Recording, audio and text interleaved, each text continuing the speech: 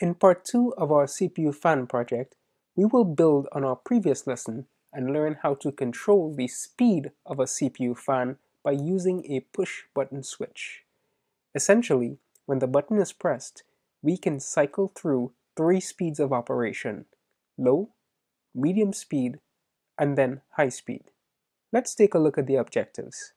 By successfully completing this project, we will have mastered the following items. We will understand how a push button switch can be used to control the speed of our fan, and we will be introduced to internal pull-up resistors and how to configure them in Arduino. If you are ready to begin, let's get this project started. Here are the parts we will need. An Arduino Uno, a USB cable, a breadboard, a CPU fan, a 220 ohm resistor, an MJE182 NPN power transistor, a push button switch, connecting wires, and a 12 volt DC power supply. Let's take a look at the circuit diagram for our project. There's only one modification we'll need. We have included a push button switch that has two connections. One end of the switch goes to pin 5 on the Arduino, and the other end of the switch goes to the ground rail. That's it. That's all the modifications that we'll need from our previous circuit. Let's go ahead and make the changes that are needed for this project we will introduce a push button switch.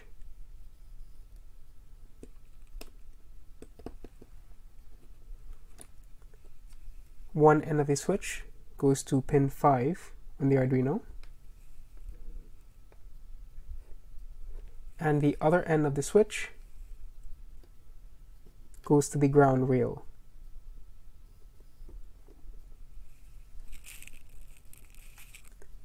Also, you'll remember that we need to connect the DC power jack in our circuit.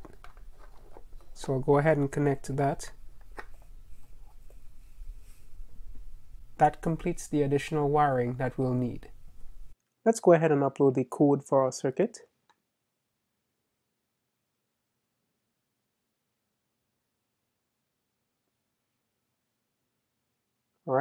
Now that's complete.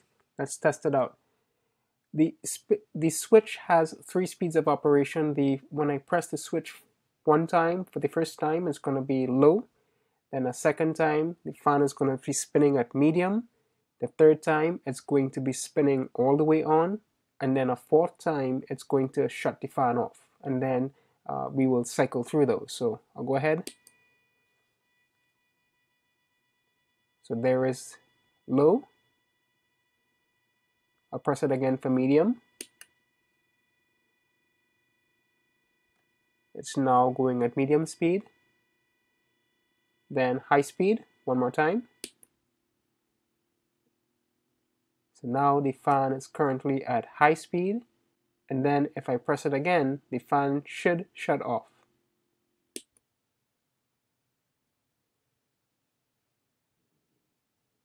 All right, there you have it. One more time.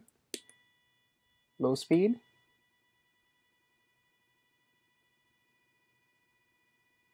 Medium speed.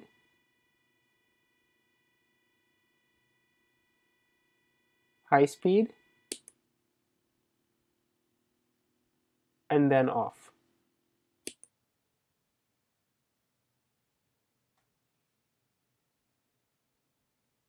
And there it is. Let's take a look at the code. Initially, we define our motor pin as 11. This is the same as in the previous program. Also, we define the button pin as 5 since we connect one end of our switch to pin 5 on the Arduino. Next, we have a global state variable and we're using this to store the state at which the push button switches the current speed. So we initialize that to 0 initially. In our setup function, we do a pin mode on the motor pin, setting that as an output. Here is where we set the pin mode on the button pin as an input pull-up. So we are, in fact, here initializing the internal pull-up resistor on the button pin.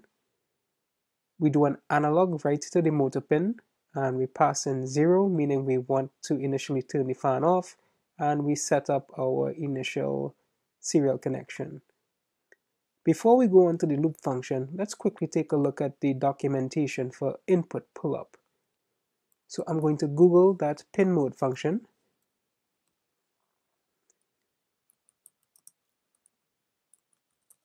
So I'm going to look up that pin mode documentation here.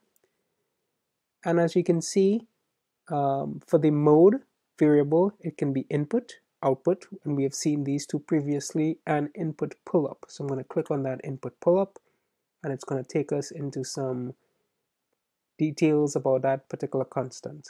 So if we scroll down a bit, here we will see pins configured as input pull-up. So the ATmega microcontroller has internal pull-up resistors, resistors that connect to power internally that you can access. So if you prefer to use these instead of external pull-up resistors, you can use the input pull-up argument in pin mode.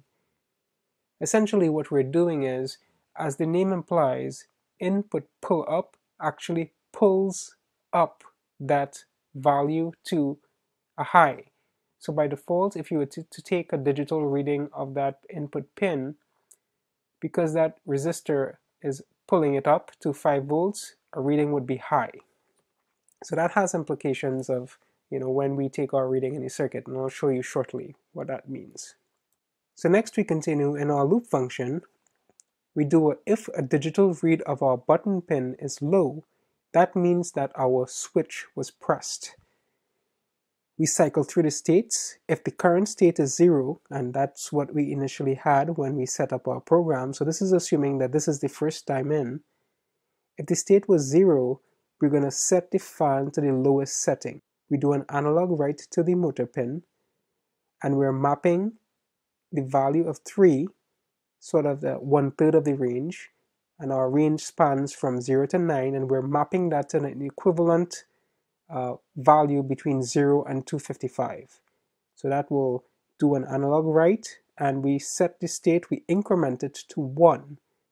So the next time we loop, if the do a digital read on the button pin and it's low, if it's pressed again, state would have been 1.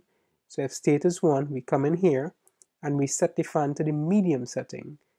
So now we'll do an analog write to our motor pin and we'll map 6. 6 is about two-thirds away in the range between 0 and 9 and we map that to an equivalent value between 0 and 255. We set our state to 2 and we continue on. If we come in, state is 2, we're going to write it now to the highest setting on the fan.